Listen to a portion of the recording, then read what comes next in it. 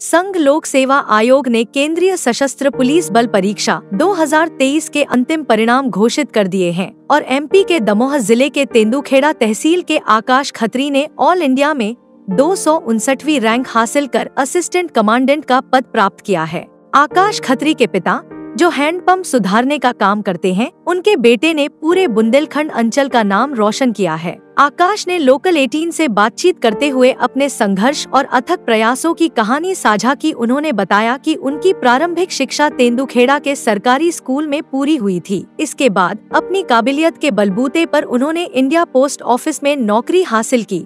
लेकिन वहाँ मन न लगने के कारण नौकरी छोड़ दी और Indira Gandhi government engineering college Sagar से बीटेक की डिग्री हासिल की। सबसे पहले तो मैं अपने इस सफलता का श्रेय अपनी माता पिता माता पिता और अपने भाई बहन को देना चाहूँगा।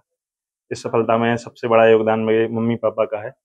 उन्होंने जितना जितना अथक जो मेहनत मेरे साथ भी की, हर चीज़ से लेके मुझे ऐसा माहौल प्रोवाइड करना जिसमें मैं पढ़ाई कर सकूँ और अपने फोकस में ना बढ़े इसके लिए उन्होंने बहुत अथक प्रयास किया।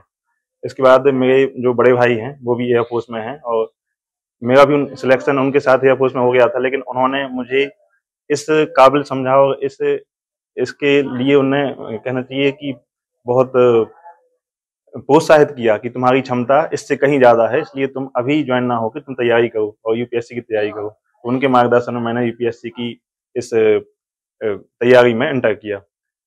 मेरी प्रारंभिक शिक्षा यहाँ पे तेंदुखा के सरकारी स्कूल से हुई है। इसके पश्चात मैंने एक साल का ड्रॉप किया आई के लिए।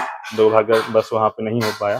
फिर तो मैंने पोस्ट ऑफ़िस में भी एक दो महीने के लिए काम किया। फिर तो उसके बाद मैं मैंने government Indira Gandhi government engineering college Sagar से इलेक्ट्रिकल इंजीनियरिंग में बीटेक की डिग्री हासिल की अभी मैंने C A P F Asian commandant 2023 की परीक्षा दी थी, जिसमें मेरी रैंक ऑल इंडिया रैंक 259 आई है और मुझे असिस्टेंट कमांडेंट का पद मिला है। ये परीक्षा मैंने तीसरी बार दी थी। पहली बार मेरा सिलेक्शन नहीं हुआ, हो पाया था। उस उस वर्ष में कॉलेज के आखिरी वर्ष में था तो उस वजह से मैं उतना ध्यान नहीं दे पाया। दूसरी बार मैं इंटरव्यू तक पहुँचा। और तीसरे प्रयास में मैं आज फाइनल सफलता मुझे मिली है आकाश जो स्टूडेंट्स यूपीएससी की तैयारी कर रहे हैं और कई बार हिसाब हो जाते हैं पास। उनको क्या संदेश देना चाहेंगे यूपीएससी की जो तैयारी है और खासकर असिस्टेंट कमांडेंट की जो तैयारी है इसमें आप जो कह रहे हैं बिल्कुल सही कह रहे हैं कि बहुत सारे ऐसे क्षण आते हैं जहाँ पे हमारे हमारा जो मोटिवेशन है वो डाउन हो, हो जाता है एक बार रिज़ल्ट होता है, दूसरी एक बार रिज़ल्ट आता है, हमारा नहीं होता, दूसरी बार आता है, हमारा नहीं होता। ऐसे करते करते इंसान बहुत डिमोटिवेट हो जाता है और फिर समाज का प्रेशर दोस्तों का प्रेशर बना रहता है, लगातार बना रहता है। तो ऐसे समय में हमें अपनी क्षमताओं पर विश्वास रखना चाहिए। कुछ ऐसे सपोर्ट सिस्टम अपने आसपास डेवलप करना चाहिए।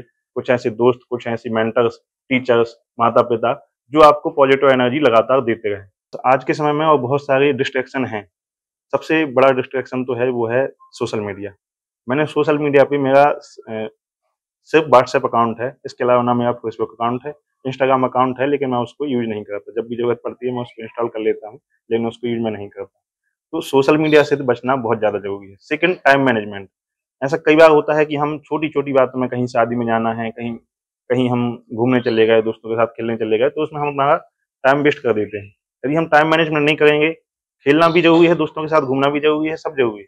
लेकिन समय के साथ सब ज़रूरी है कि उनको भी समय मिले आपका दिमाग भी रिफ्रेश हो पाए और आपकी पढ़ाई भी साथ में चल, सही चलती है तो टाइम मैनेजमेंट सोशल मीडिया से दूर होना और अपने आसपास सपोर्ट सिस्टम डेवलप करना ये तीनों चीज़ें बहुत ज़रूरी एक मीडियम साइज़ एम बनाया कि एक हफ़्ते में हमारा दो सब्जेक्ट या एक सब्जेक्ट होना हो जाना चाहिए। फिर इसके बाद एक डे वाइज प्लान होता था कि इस दिन को आज दिन, आज के दिन में मुझे इस सब्जेक्ट के इतने पेजेस या इतने सब्जेक्ट कंप्लीट कर लेने हैं। तो इन तीन स्तरों पर मैंने अपनी तैयारी को बांटा। और यह जो कहना चाहिए, यह जो स्ट्रेटजी है, मुझे बहुत हेल्प की। दिनचर्या तो ऐसी होती थी कि सुबह उठे, मंजन ब्रश किए और फिर उसके बाद पढ़ने बैठ गए, क्योंकि सुबह टाइम ज़्यादा अच्छा माहौल रहता पढ़ने के लिए। फिर इसके बाद ग्यारह बारह बजे तक पढ़ते गए, फिर इसके बाद मम्मी पापा ने बुलाया, खाना खा लीजिए तो खाना खाया, फिर इसके बाद फिर पढ़ने बैठ गए। तो ऐसे फिर शाम को फिर पढ़ने बैठ गए। मतलब टाइम तो फिक्स नहीं था, लेकिन लगभग पूरा दिन ही चला जाता था पढ़ने में। हाल ही में आयोजित पटवारी परीक्षा में 141 नंबर प्राप्त कर पटवारी बने आकाश ट्रेनिंग खत्म कर घर लौट रहे थे, जब यूपीएससी 2023 का रिज़ल्ट घोषित हुआ। यह उनका तीसरा प्रयास था और अंततः सफलता ने उनके कदम चुमे। इस सफलता के पीछे उनके माता पिता का आशीर्वाद और बड़े भाई का स्नेह है, जिन्होंने हमेशा उनका साथ दिया। बेटे के घर पहुँचते ही माँ ने खुशी से आकाश की आरती उतारी और मुँह मीठा कराया। इस बीच, उनके दोस्तों और रिश्तेदारों ने भी आकाश को मिठाई खिलाकर उनकी खुशी को चौगुना कर दिया। नगर के लोगों ने जलूस निकालकर आकाश का स्वागत किया, जो नगर की गलियों से होते हुए गल्ला मंडी पहुँचा। गल्ला मंडी में, आकाश ने बाबा भीमराव अंबेडकर की प्रतिमा पर माल्यार्पण कर उनका आशीर्वाद लिया। आकाश की यह सफलता न केवल उनके परिवार बल्कि पूरे नगर और बुंदेलखंड अंचल के लिए गर्व का क्षण है। लोकल 18 के लिए दमोह से अर्पित बड़कुल की रिपोर्ट।